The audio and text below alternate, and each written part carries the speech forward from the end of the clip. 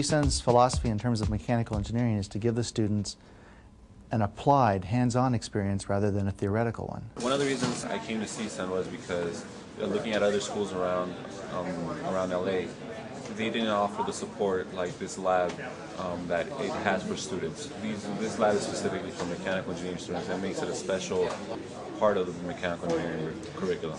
I'm a freshman. Um, actually, when I came to open house, I was undecided, and when I went came to mechanical engineering, I really liked that we can make a bunch of different things on the computer and just go and put them all together.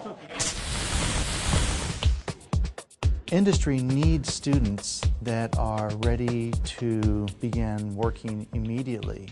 We give the students a hands-on learning experience by integrating design throughout the curriculum.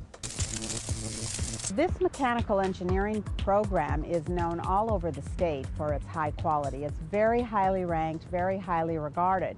And students in the program get to do such fascinating projects as part of their curriculum. We've completed the design this semester and we're about to start manufacturing. Anytime you go over to the department, its laboratories, you see students who are there working on these projects very intensely. Pointing that direction. Wait, wait, wait. Is it really going to do that? Remember, yeah. initial coordinates. Yeah, it thinks it's at zero, zero, zero right now. They're so engrossed and engaged in these projects that you know they are really enjoying learning. What we're basically doing right now is checking our center of gravity height on the car physically and compare them to our measurements that we've made through the computer. We set the car on scales, one scale per tire, and we measure the, the weight of the car at a level, level height. So basically what we've done is we've uh, done some calculations on the spreadsheet and now we need to do a physical analysis of this center of gravity. Formula Car Project is a senior project where our students get together and design and build a formula-style race car that meets or exceeds the needs of a weekend racer. After they build it, they take it to a national competition and compete against other universities.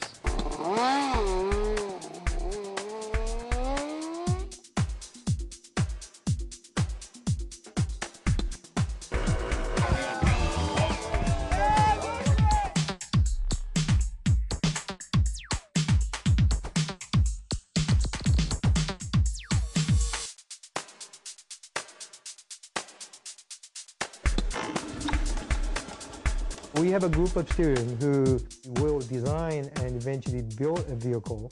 And this vehicle eventually will go for a competition. You have a path that's marked out in chalk lines. And your robot, it can be walking, it can be rolling, etc.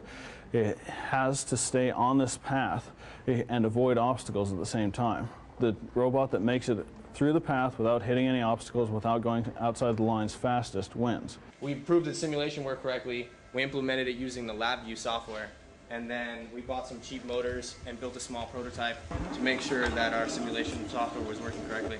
It needs to be able to see the chalk lines that outline the course. It needs to be able to detect any obstacles, potholes, things like that, and decide based on that where it wants to be and what direction it wants to be pointing when it gets there. Here we are trying to implement uh, uh, edge detection algorithm.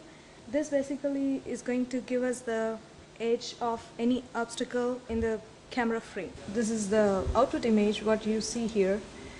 This uh, vehicle should eventually uh, have this kind of a, a, a human-like uh, intelligence level. It's like your baby that you've nurtured, and now it's grown up, it's going on out on its own and being successful.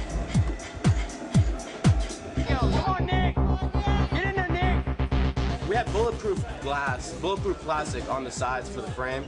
That went in about one shot, almost completely knocking the bot out of commission.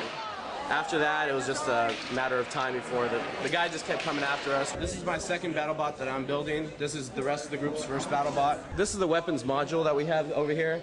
This is going to be a rotating blade. It's going to be rotating at 2,000 RPM. The thing is, we've got it optimized so that when we are in competition, we've got the gear ratios right, we've got the power ratios right, so that we can actually deliver quite an impact. That, that blade is going to be moving at about 240 miles per hour at the tip.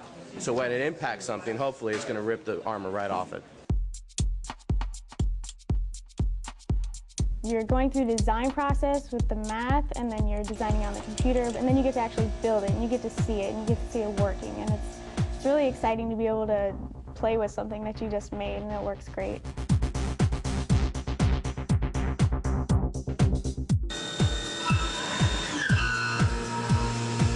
We have a lot of theoretical training, just like all engineering schools do, but we do put a big emphasis on our hands-on projects. Not only have them for the seniors, but also some of the underclassmen as well. So it's a balance between theory and practice. The conceptual design, the brainstorming stage, followed by the critical design where we do the analysis, then manufacturing, and then testing. Those are all the parts involved in the design process. And we do all that in the lab. To, to the reservoir. And then also another cool thing is we can mount the reservoir to these.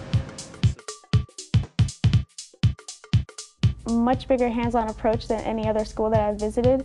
We have projects that we get to work on, we have many labs, we get to use the machines ourselves, we're not watching someone else do them.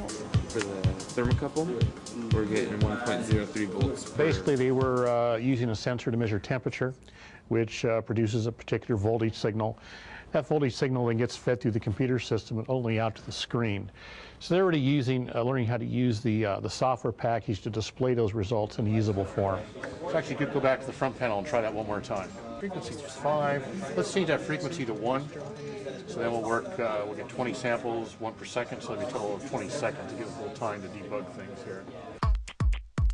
In the Haas lab, we have a rapid prototyper machine, and it's used to quickly make things out of this clay powder. So basically, you don't have to waste time making an aluminum part that doesn't fit and doesn't work. You can make this little model and make sure it's exactly what you wanted it to be. Print a layer, move down, print a layer, move down until the entire part is finished. It just amazes me the level of technology that we're able to use in that lab that wasn't even available five years ago. We do have a, uh, a rocket engine here, which is kind of unique here at, at CSUN. We have a rocket test cell. Well, the San Fernando Valley is a very large place, over 2 million people, and um, we're surrounded by all sorts of high-tech companies. You know, it's a great place to live. The San Fernando Valley has, has sun. It's uh, certainly most perfect weather conditions you could ever imagine. There's no winter. There are internship opportunities that students have because there are businesses right here. I got school credit and got to work at Northrop Grumman at the same time. Yeah, and as soon as that was over, they hired me on as a full-time engineer. A lot of employers will look for things like, oh, do you know this software package? Oh, you know SolidWorks. Oh, you know LabVIEW. And so they think, well, they already know this stuff, so we don't have to train them. So that hands-on learning means that when they go out from here, when they graduate, they're ready to work.